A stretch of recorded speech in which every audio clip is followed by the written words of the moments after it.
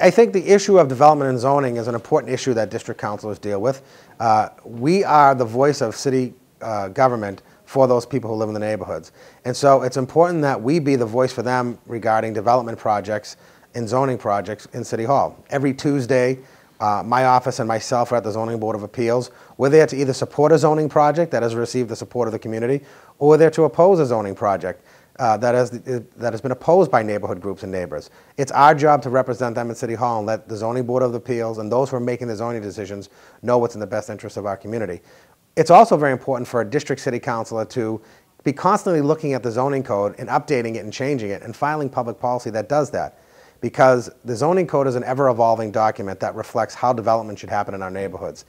We should always keep, be keeping our eye on the ball to make sure that the zoning code moves our neighborhoods forward, moves our city forward, but at the same time includes those protections that are necessary to protect our neighborhoods from overdevelopment and to protect our neighborhoods from those unscrupulous uh, developers who will look out to make a buck and don't care about protecting our neighborhood.